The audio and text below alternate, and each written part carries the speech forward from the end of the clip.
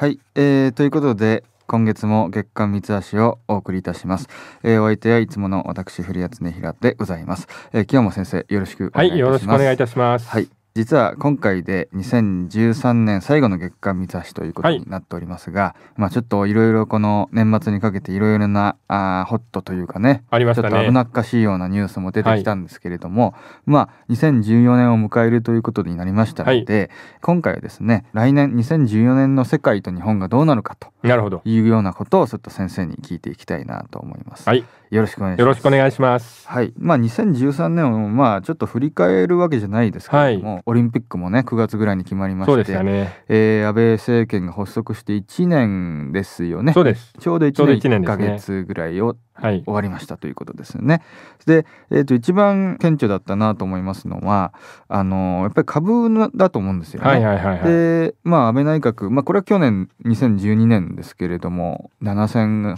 円とかねそね、はい、そのぐらいから今ちょうど1万6000に迫るか迫らないかというぐらいになってきましたはい、で、えー、まずこの株の話ですよね。なるほど。ここからやりたいんですけれども、うん、まあちょっと今年ずっと振り返って、はい、あのー、日本株の相場感というのはどうだったですかね？えっとですね、はい、まあなんとなくほら野田政権というか民主党政権時代の低迷が、ええ、懐かしいですね野田ね。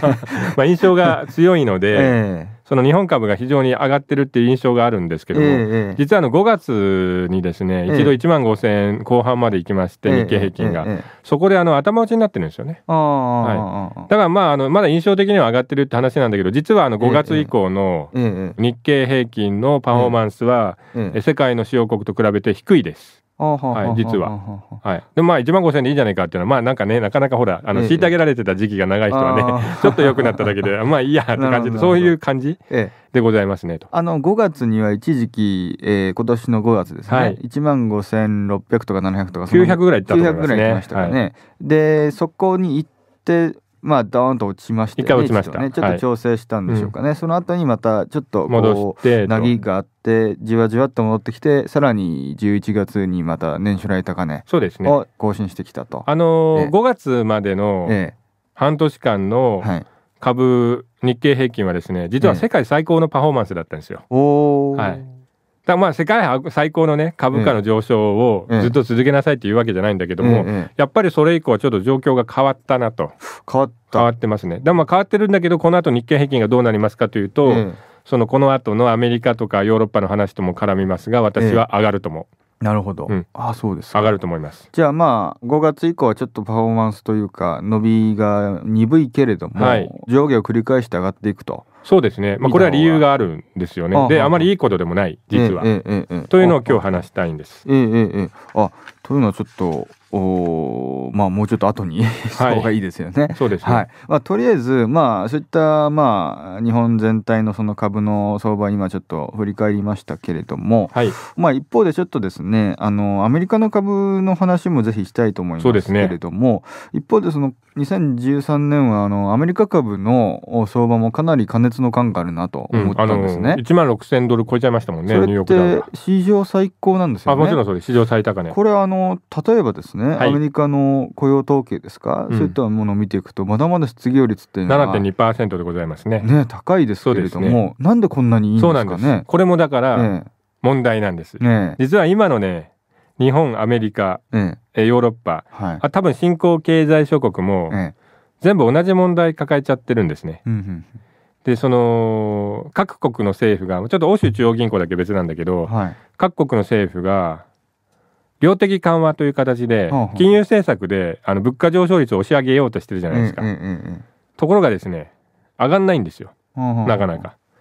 でえまあもちろんねあの長期的に上がってるんじゃないか上がってますけども、その期待されたほど上がってない。例えばアメリカでもあのインフレ目標2%なんですあそこは。じゃあ日本と同じですか？あ日本と同じなんだけど、えー。現実は、ええ。あの1%ないんです今あそうですか。0.9%かな。じゃあデフレではないんだけれども、まあ、いや私ねかもしれない。1%聞いたらデフレって言っていいと思いますよ正直言あって。ー。でね問題はそこで、まあ、物価上昇率が低いことじゃなくて、えその FRB がうんリーマンショック以降一体いくらのドルを市場に供給したかって話なんです。えどのぐらいなんですか？400兆円、400兆円、はい、あごめんなさい300兆円。300兆円。あのね FRB は、えーリーマンショック前はだいたい100兆円分ぐらいのうんドルを市場に出してたわけです。はい、1年間いやあの累計です。累計でです。はあはあ、その後ですね、はいまあ、いわゆるマネタリーベースですけど、うんうん、これをね4倍にしたんですね。つまり増えた分が300兆円、うん、全部で今400兆円なんですね。うん、300兆円の通貨を発行してですね、えー、で失業率がまだいまだにリーマンショック前を回復していないんですね。はい、リーマンショック前の失業率4%台だったんですよ。4%意外でしょうか。はい。低いですね。低かったんです。低かったの、えーえー、それがリーマンショックで一気に高まって2010年には10%超えたんですよ。2010年10%最悪だった、ね。はい、最悪だったんだけど、それでまあ量的緩和でね懸命にこうお金発行して、うん、いやこれ別にやるべきでこれやんなかったらね、うん、今頃世界はね第二次大恐慌だった。これ当然 FRB の判断正しかったと思うし、えー、量も十分もっとやってもよかったと思いますけども、えー、でもお金を発行しても発行してもですねなかなか失業率が下がらないと、うん、もちろん下がってきてんだけどもあのバーナンキー議長があの6.5%という失業率の目標を掲げたんですけども、はい、まだそこに達しないんですよね。そうです長いこと達しないと。というか7%切れない。あなるほど。なんで？でもねそ,、まあ、それはいいんだけども、えー、その反対側で株価が最高値なんですよね。本当ですよね。はい、これ何が起きてるのか。と。はい、別に難しい話じゃないですよね。うん、何が起きてるんですか？要は FRB がそのまあ銀行なりね、うん、え国内の金融機関からファニーメイとかフレディマックとかから、はい、その国債とか MBS を買い取って、うん、でドルを発行するじゃないですか。はい、その額がえ300兆円新たに発行されましたと大体、はい、それがですね例えば設備投資とか、住宅投資とか公共投資に向かえばですね、うん。その金額分所得が生まれるわけですね。そうですね。300兆円使ったら300兆円の GDP になるってことです。そうですね。まあ幼稚費の買収とかちょっと除くんで、ねところがそれがですね、どうも株式の方に行ってるんじゃないかと。で、その銀行にあの FRB がドルを供給しますと、うん、で銀行から先のお金の行き先っていうのは FRB はコントロールできません。当たり前ですけど。それはまあ借りる人の勝手じゃないですか何に使うっていうのは。でそれを借りた、えー、投資家とか金融機関とかが、うん、まあ、株価に株式にお金を流しちゃってんじゃないかなと。ということは株価は高まっていくんだけど、うん、じゃあ株価が高まれば失業率下がるか下がるでしょ？下がる資産効果ってあるけども、うん、多分例えば100兆円を株式に突っ込んだら100兆円分ボーンと株価が上がると、うん、まあ、時価総額で、まあ、あの暗分されちゃうけどもね。でその時に生まれる雇用って、まあ、証券会社の人の手数料とあとは株価が上がったやったってことで間接的に消費が増える効果はあるでしょう。と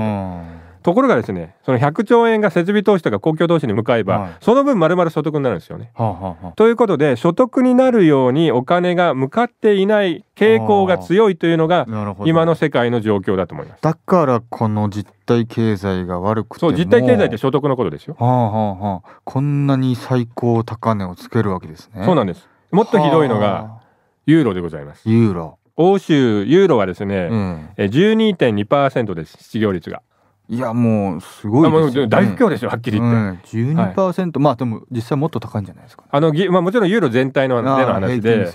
そのスペインとかギリシャは25%上回ってますから、もう半端ないんですよね。国がやっていけるんでしょうかね、はいうん、でしかもあの完全なデフレギリシャとかあの物価上昇率マイナス1%ということ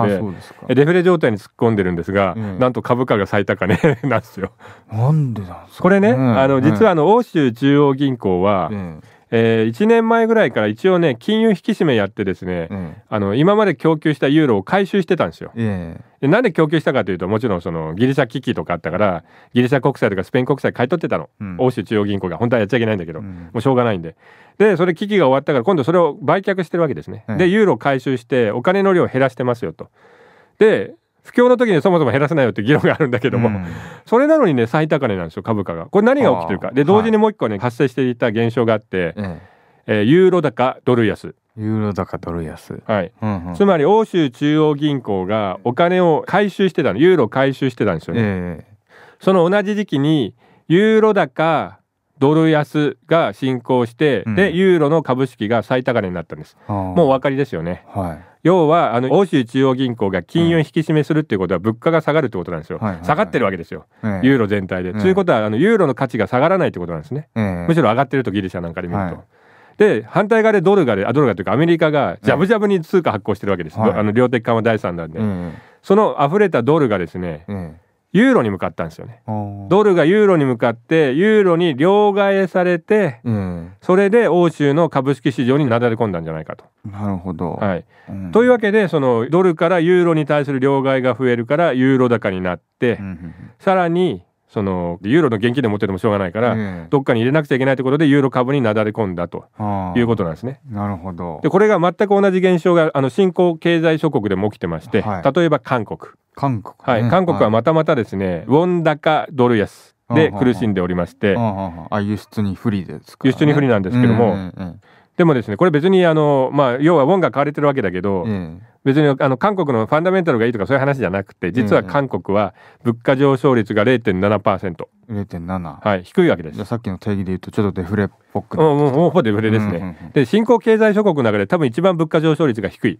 つまりあの韓国にお金を入れるとですねウォンにすると、はい、最も価値が下がらないんですよ、はい、外貨で見た場合ですね、えええ。はい、ということでですね今ジャブジャブのドルが韓国に流れ込んでウォンに両替されて、うん、ウォン高ドル安を引き起こしてさらに韓国の株式市場に流れ込んでると、うん、で株高になってるってことなんですね。なるほど。ということはでしょ、ええ、ということはもし、ええアメリカが量的緩和やめますってなると、はい、お金の巻き戻しが発生する可能性が極めて高いんですよ。つまりあじゃあアメリカの方が、えー、インフレ率が低くなってって、うん、かつ、えー、通貨価値が上がっていくんだとドルのと、うん、やべえってことでみんなが一斉にですねユーロとかウォンのその資産を売却して現金にしてドルに両替していくでしょ。うん、それとドル高ユーロ安。ドル高ウォン安になるでしょうと、うんうん、でその時多分ですねあの韓国またまた第3回目のですね通貨危機にめでたくなるだろうという話でございますね。はい、で、ユーロもその株価が暴落して、はい、でそれがアメリカにユーロがドルに両替されて戻っていくと。はいいうことになる何々ショックっていうのが多分2014年に起きるんじゃないかということで私はビビってますああまりこういう脅しをする気はないんだけども、今の状況ちょっとやばい、それはあの今先生おっしゃったようにそのアメリカの中央銀行ですかねそれが金融緩和をやめる方針になった場合ですよね。そうです。で、あのー、でも逆に言うとね、そんなことはみんな分かってるわけですよ。はい、ということはやめられるのかなと。そうですね。はい。でやめないとどうなるかというとですね、例えばあのアメリカはないとどうなるんですか？アメリカはですね失業率が7%で、はい、例えばですよ、はい、え物価上昇率がゼロでほぼデフレで、はい、で株価がですね、はい、なぜか4万ドルとかですね。そういう状況になりかねないんですよ。で仮にですけど、仮にですけどまあ株が上がるのはなんとなく別に悪いことじゃないなってまあ一般庶民は思うんですけどね。思いますね。4万ドルになってもいいんじゃないですか？でしょ？ダメですか？あだ それも別にいいんですけども、ええ、でもその4万ドルがまあ株価が上がりましたと言ってもですね、はい、その時に所得が増えてるかって問題なんですよ、さっき言ったけどあの今物価が全然上がらない状況で、物価が上がらないっていうのは国民の所得が増えてないんですよ、で株価がどれだけ上がっても所得とは関係ないです直接的には、はいまあ、気分が良くなって使う人が増えれば、まあ、所得増えるんだけども、ええ、そうならないで単純に株だけが上がっていくということになってでドルドルのジャブジャブジャブのこのドルが溢れるわけですよ。え、でその時に考えなくちゃいけないのは多分その時はですね、ええ。さっきあのリーマンショック前100兆円だけドル発行してたと FRB が、累計で。それが今400兆になりましたと、はい、400兆円と、はい、で多分ですね今さっきの4万ドルとかの世界だと1000兆円になりましたと、発行したドルがと、でその発行したドルがですね金融資産に流れてて、で金融資産じゃなくてそれがですね万が一、万が一っていうか所得の方にですねダーってなだれ込んだら、どうなるでしょうかと。これはですねあの伸びじゃないけどね、ええ、あのすごいインフレ率が高くなっちゃうでしょう。どう考えても。ハイパーとか使いたくないんだけど。大混乱でしょう。はい、じゃあそのことはまあみんな分かってるので量的緩和はやめられないんだけども、えー、やるとやべえなっていう状況が来年どっちでもできない。そうあもう一つポイントは、うん、来年の7月にですね、はい、アメリカでボルカールールが、えー、適用されることになってます。ボルカールールですボルカールールボルカールールというのは、はい、金融の規制です。例えば銀行は貸し出し業務だけやってなさいと、はい、あの証券取引とか投資あの例えば CD を買うとかね、ええ、そういうことやっちゃいけませんと。なんでかというとそういうことやったからリーマンショックになっちゃったんで、そのもう起こさないために銀行規制かけようとしてるわけですよ。それは正しいんだけど、えその2014年に7月にですね本当に銀行規制がそのまま始まっちゃうと、はい、それをきっかけに巻き戻しが始まるじゃねえのと。なんとかショックですね。ボルカーショックって呼ばれるのかなその場合は。これはな多分議員かなんかの名前、ボルカーさんはですねえ元 FRB の長官であそうですかはい。あまともな方ですこの人は、うん、であのグリーンスパンサーの前の人ですね。あそうですはい。でボルカーショックになんじゃねえの？これは来年の7月。7月。だこれ延期するともう私だから。危ないから。うんはい、そうするとでも金融の規制がかけられないから金融の暴走がどこまでも膨らんでいくと。3万ドルとか。3万ドル4万ドルとかですね、はい、あるいはそのまあそれも問題だけどさらにまずいのが先物取引に行くでしょうね。食料先物とか原油先物とか。ああじゃあ小麦とか大豆とかが値上がりしちゃうとガソリンもね。ああはい、それもあの実需と関係ないんだよね、需要があろうがなかろうが関係なしに金融だけであの高くなっていくと、うん、するとですね前いつだっけな？2008年に食料先物が上がってた。あれアメリカがですね なんか国内の穀物をエタノールにしてバイオ燃料だとかくだらないこと始めたからもう終わったけど、ええ、あの一気に小麦かなんかの需給がもう圧迫されちゃって、え、すごく跳ね上がったわけです世界的な食料価格が、はい、そしたらもう暴動ですから各国で。なるほど